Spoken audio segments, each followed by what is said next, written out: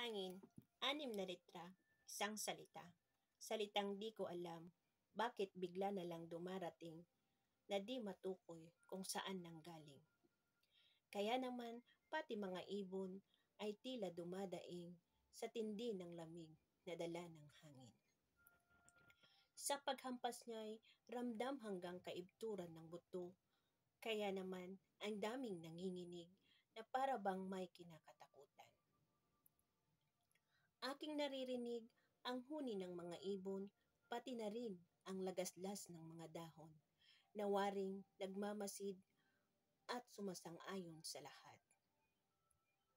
Sa bawat hampas ng malamig na hangin, ito'y may dalang himig sa aking damdamin. Himig na kaibig-ibig, puso ko'y bumibilis ang pagpintig. Magandang gabi po sa ating lahat. Thank you for watching po. God bless us all.